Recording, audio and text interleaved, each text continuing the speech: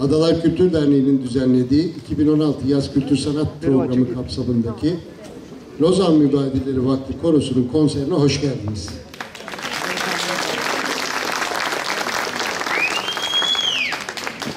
Bu seneki programlarımız 9 Temmuz'da başlamıştı. Ancak ondan sonraki olayları biliyorsunuz. Bir takım aksamalar yaşadık. Şimdi tekrar e, normal düzene dönmeye çalışıyoruz ancak ufak tefek değişikliklerle devam edebiliyoruz. E, bugünkü konser tam zamanında yapılıyor ama e, yarınki programımız başka bir tarihe ertelendi. Geçen hafta yapmamız gereken Hint dansları gösterisi ise yarın yapılacak. Ve lütfen e, bundan sonrasını esas programa bağlı kalmadan e, bizim duyurularımızla takip ederseniz çok daha iyi olacaktır.